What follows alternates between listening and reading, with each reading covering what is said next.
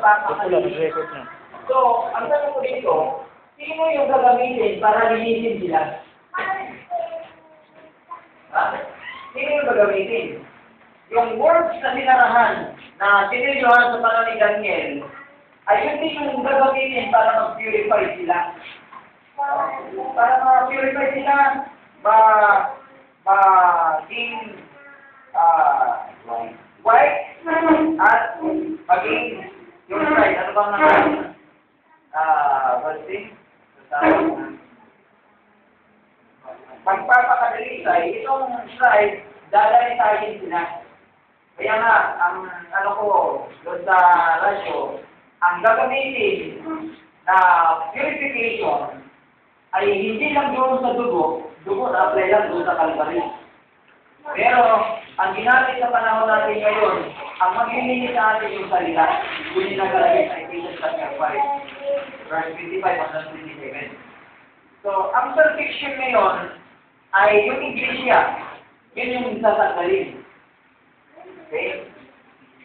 So, dito sa verse 10 ng Daniel chapter 12, parang nakita ko dito ay before the foundation or yung full knowledge of God, ay talagang nakatalaga na wicked na hindi makakaalam, no?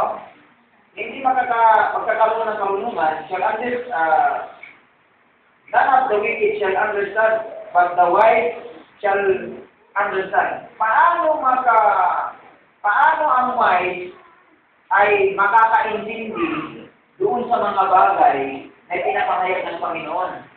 At sabi ko nga sa radyo ay Ah, kaya naintindihan ng wicked ay yung wise, yung mga bagay, dahil mayroon silang pagsusuri at hindi sila, ah, ako po doon, kaya naintindihan yung wise dahil mayroong ginamit ang Diyos.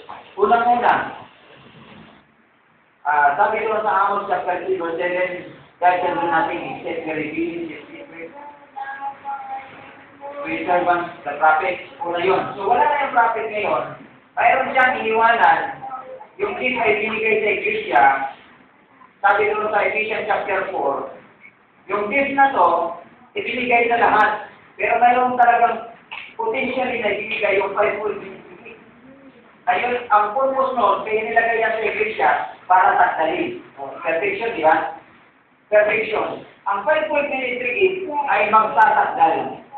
Hindi nila compromiser doon sa word, kundi kung ano yung ko, na natanggap nila mula doon sa prophet, ang prophet natin ay hindi lang doon sa uh, seven messenger of the age, kundi yung, yung prophet natin ay yung propita na nag-anoint sa mga propita. Naintindihan mo yun? Di ba may prophet sa ano? Itong, itong 30 ages na to, ah, Cristo, Marina, Pergamo, Era, Galil, ah, Philadelphia, at din Laodicea. So, sa sa bawat iglesia ay mayroong sa bawat iglesia ay mayroong ba? Yan.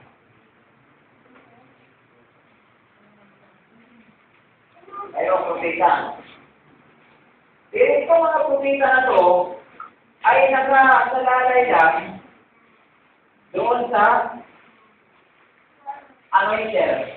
Yung anointer dito, yung Seven Spirit. Seven Spirit before, oh, before the throne. Kahit si Balfor na, ayaw niyan. Ayan. Itong spirit na to, sila yung nag-ano eh. Sila yung nag-ano nagbibigay ng mensahe sa bawat panahon. Naalay niya yung bawat mensahe sa, sa ano, sa Cristo. Si Pablo ay ginamit ng Spirit Spirit before the throne para maka, ano siya ng revelation. Siya. Pero din sa panahon ni Ni Martin? Oo, Martin. ah, Martin ang tulog mo. Ah, may pag no? Martin ang tulog, tulog mo. Sa panahon ni... Ba na under din siya ng anointing ng Great Spirit siguro mo? Ah, ang ang ang sabi niya dito, hindi niya sinabi na Spirit Spirit ka. Pero sinabi niya, they are the angel of God. Oo. Ang angel of the Lord. The angel of the Lord is here. Lagi ang sinasabi. Yun yung nagbibigay sa kanya na inspiration, ipakita yung revelation. So, after na nawala si Brother Branham, mayroong mayroong misayo na pina, pinadala sa lupa. O, sa atin, yun, wala nang sa atin, di ba? Wala nang sa atin. Ang nag-continue ngayon, para tanggalin yung Indonesia ay yung five food. Ito yung Ephesians chapter 4. Verse 11. Hanggang hanggang 15. Yung Bible ministry, ang tukunin ng pastor ay hindi, hindi, ang tukunin niya ay hindi tanggalin. Yung five Ephesians. Ang five food. Ephesians 4 ah 11 hanggang 15. Kasi yung verse 8 ay binibigay yung gift sa lahat. All men.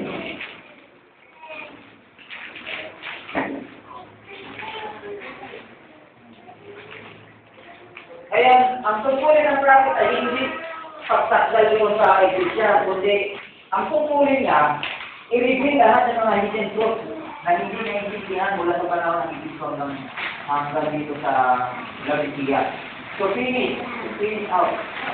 Ang ang ano dito yung finish out, yung ah to clear out, oh, liwanagin niya.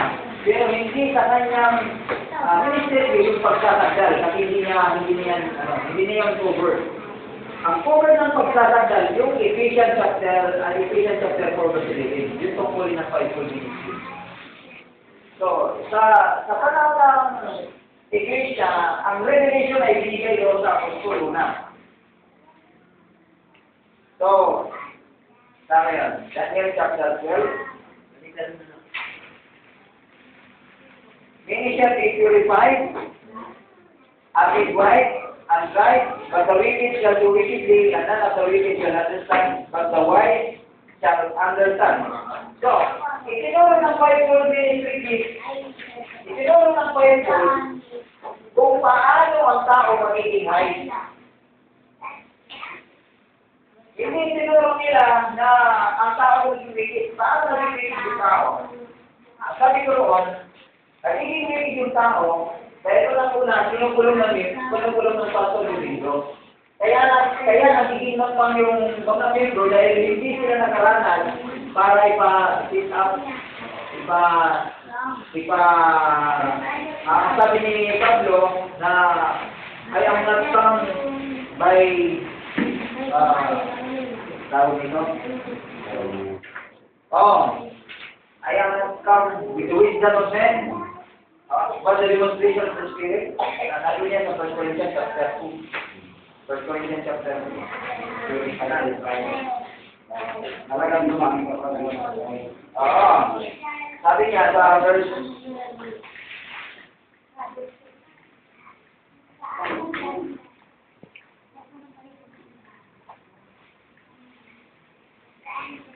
Verse 7.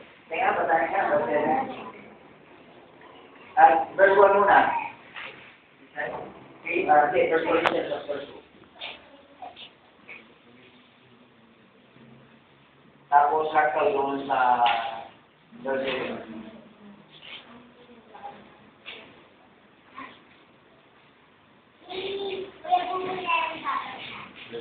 Pause mo. Matagal ba? Verse 1. Ah, 2. Chapter 2, verse 1.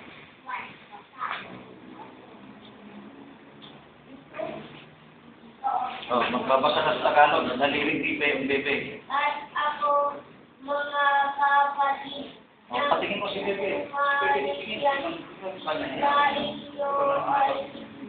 ako nakariyan na may kagalingan sa pananalita o sa karunungan at na nagbabalita sa isyo ng patuon ng Diyos.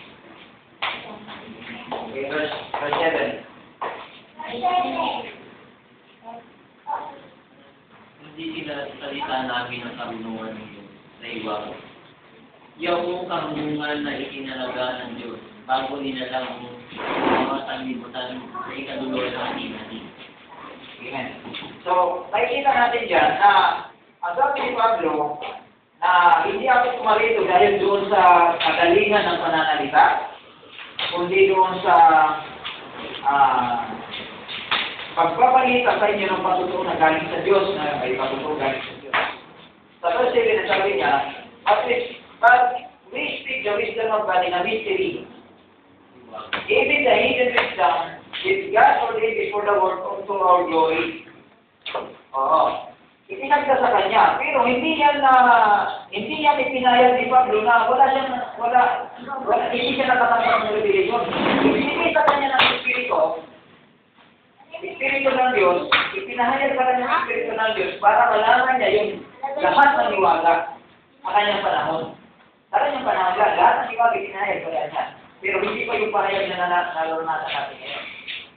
So, sabi niya sa verse 10, But God hath revealed them unto us by His Spirit. Nakita ni Pablo na ang pahayag na ito ay pinahayag ng Diyos sa magitan ng Espiritu sapagkat ang Espiritu ay nagsasaysay kahit yung mga malalalim na bagay. So yung mga malalalim na bagay, hindi ito sinayag ng ilang mga uh, denomination kaya naging wicked yung bawat membro, hindi nakakaunawa dahil kinulong nila. Sinara yung utak, parang ang sinabi dito ni Pablo sa 2 Corinthians 11, dinaya nila, pati membro dinaya, kagaya ng iba, na dapat na ma-preserve, maging malinis na ihandog sa Diyos, na ibigay sa Diyos, naging wicked sila.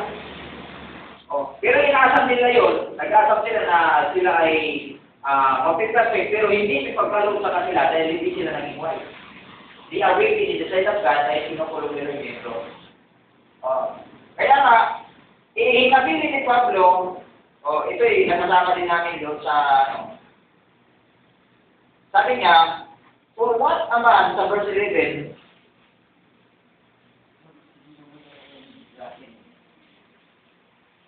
For what man knoweth the things of a man, save the spirit of man which is in him, even to the things of God knoweth no man but the spirit of God. Dito na yung comparing spiritual things with spiritual. Verse 13. Ay, basahin natin yung verse 13. Ah, verse 13.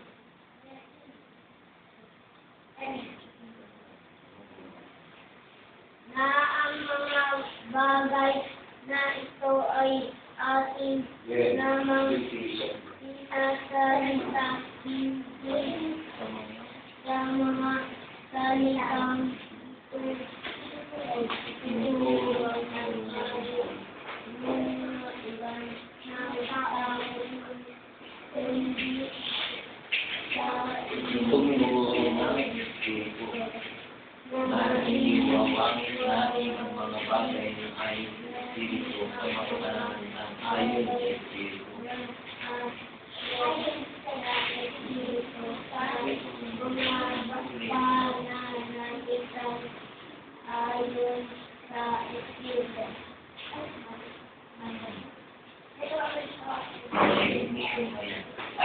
natin dyan, no, Carol. Ah, sinabi ni Pablo na comparing spiritual things, sabi niya, with things uh, also we speak not in the words which man speaks down but which the Holy Ghost teacheth, comparing spiritual things to spiritual. Itong comparing, ano ba itong Tagalog ng comparing? Pagkakasing, nakakawa. Yung, yung comparing, yung pagkahambing, Diyos mismo yung nagayag niyan. Ang tawag natin dito yung sit-up. ang sit-up, ito yung makakapag-preserve between your soul, body, and spirit para maging sagdal ka sa Diyos. Ito sa panahon natin ngayon.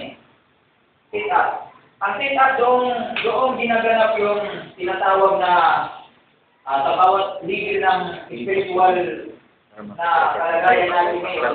Para mapatunayan mo na ikaw ay, na ang doktrina mo ay malinis at walang bahid, para maikulit hanggang sa, kaya nga, hanggang sa ikaw ay ma- malinis yung magiging, uh, yung doktrina mo, naging subok yung doktrina mo, na walang mapapakalian, hanggang na masakdal yung doktrina mo. Ngayon, pangalawa, ah, ang sinabi ni, ni Pablo sa Ephesians chapter 4, na ang sabi niya, Ako ganyan naman. na sasakdalin yung iglesia sa magitan ng fivefold. Di ba? Ang fivefold ay binigay para sagdalin yung iglesia sa verse 12. Sabi niya, For the perfecting of the saints, for the work of the ministry, for the edifying of the body of Christ, till we all come in the unity of the faith. Unity nga ba yung faith natin? Hindi pa sagdal yung faith natin.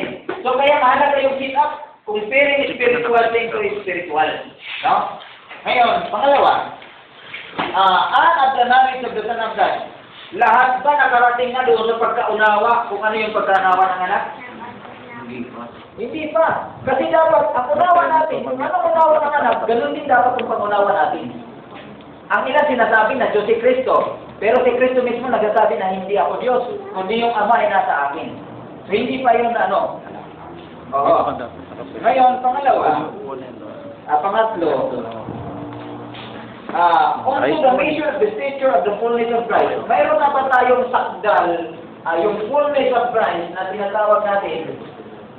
Nandoon na ba tayo sa peak ng fullness? Oh, umalis siya sa posto. Pagka umalis sa posto. Ah, fullness of Christ? Nandun na ba tayo? Wala pa, hindi pa tayo nakarating doon sa fullness of Christ. Wala pa po Kaya nga may training, kaya nga nandyan yung fivefold ministry para hubugin tayo hanggang sa marating natin yung fullness of Christ. Saan magkakaroon yung fullness of Christ? Individual ko. If the Christ, the anointing of God ay nandoon sa'yo, the gra- uh, Christ in you, the hope of glory, yun yung kaluwalhatian mo. Yung, yung word na Christ, Christ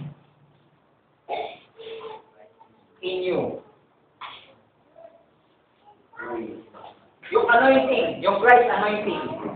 Kung yung anointing na nanatili sa'yo, yun yung mag-preserve na ikaw ay masakdal. Hindi lang sa personal, kundi yung iglesia na tinutuko, yung yung personal. Kasi yung lahat ng iglesia. Iglesia ni Cristo. Ay, iglesia ni Cristo. ah. so, ano pa? Pati iglesia ni Cristo. Oh. Ah. for, ulit. ah, saan na ba yun? The three henceforth be no more children tossed to and fro. Ngayon, matured na ba tayo lahat, Manuel? Hindi pa po. Kaya nga mayroong, ano, sabi niya dito, that we henceforth, kasama tayo dito, no more children tossed to and fro and carried about with every wind of doctrine by the sleight of men and cunning craftiness whereby they lie in wait to deceive. Kaya nga, prone tayo doon sa ah, pagkadaya pag hindi natin nag pag hindi natin pinaghambing yung ating natanggap na revelation Bible. Kaya nga mayroon tayong sit-up, yun ang napakalaga. Oo. Kahit yung LCN natin, para maging sandal yung LCN natin, dito lang sila magkakaroon ng kapangyarihan to preserve their virginity. This virginity. Tama ba Here, pagbabae. Is lalaki. Here, virginity.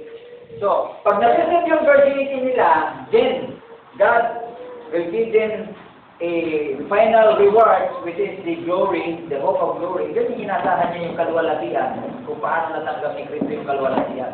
That is the perfect uh, sign at saka yung pagsasakdal ng Panginoon sa bawat individual. Ah, ano ang pagsasakdal dito? At ano yung maglilinis? Ephesians chapter 5, verse Oh, tayo nga. Ephesians chapter 5, verse 26.